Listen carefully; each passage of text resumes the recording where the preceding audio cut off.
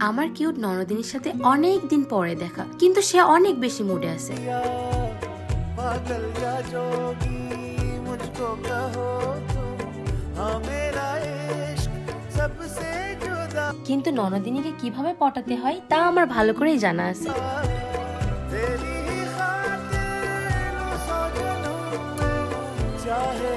আমার কিউট ননদিনী কেন এত আমার সাথে ভাব নিচ্ছে, এটা না হয় একটু পরেই বলি। আর আমরা এখন যাচ্ছি দাওয়াত খেতে। ওখানে কিন্তু কুমকুম, আব্বু আম্মু সবাই থাকবে। আদিম তো প্রথমে দাওয়াত খেতে একদমই যেতে চাই নাই। আমারও যাওয়ার তেমন ইচ্ছা ছিল না।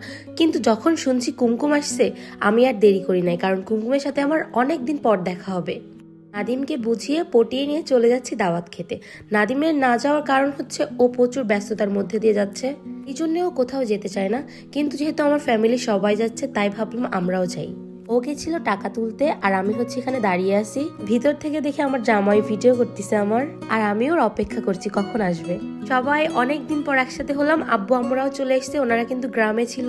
একটা জিনিস কি লক্ষ্য করছেন? কুমকুম কিন্তু ওইদিকে তাকিয়ে আছে, আমার সাথে একদমই কথা বলছে না। ও রাগ করার একটাই কারণ, আমি কেন গ্রামে গেলাম না। ও আমাকে বারবার যেতে বলছিল, কিন্তু নাদিম আমাকে নিয়ে যায় নাই।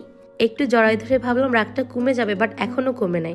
কিন্তু একটু পরে দেখবেন আমার ননদকে আমি ফুটিয়ে ফেলব। গল্প করতে করতে আম্মুর বান্ধবীর বাসায় চলে এসেছি। এটা হচ্ছে আমার শাশুড়ি মায়ের ছোটবেলার বান্ধবীর বাসা।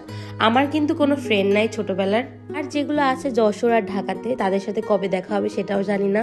আর আমার শাশুড়ি মা যে আজকে আসছে, ওনার ফ্রেন্ডরা কিন্তু কেউ জানে না।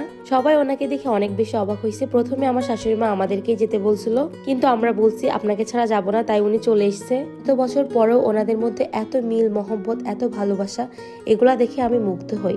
আজকালকার যুগে কিন্তু এগুলো পাওয়াই যায় না। অনেক হলো বান্ধবীদের গল্প, এখন আমার ননদের রাগটা ভাঙাবো। আমার কিউট ননদিনীকে অনেক কিউট কিউট কথা বলতেছি, তাও সে রাগ করে আছে। বলতেছে, আমাকে সুন্দর লাগতেছে, আপনাকে সুন্দর লাগতেছে না। এটা ওটা বলে আমাকে পচাচ্ছে। নাদিম এসে বলতেছে, তুমি সবাইকে পেয়ে আমাকে ভুলেই গেছো। আমি বলতেছিলাম, তুমি ছেলে মানুষ, ওই দিকে থাকো, এখানে হচ্ছে মেয়েদের আড্ডা। কিন্তু সবাই এখানে আমার থেকে বয়সে অনেক বড়। আমার বয়সে তেমন কেউই নাই। একটু আমি বোর ফিল করতেছিলাম বাট ওনাদের আড্ডা দেখে আমার খুবই ভালো লাগতেছিল। এখন চলে এসেছি লাঞ্চ করতে, এখন বাজে কিন্তু চারটা। আমরা অনেক লেটে এসেছি, আর কুমকুমের সাথে কিন্তু ফাজলামি আমি শুরু করে দিছি।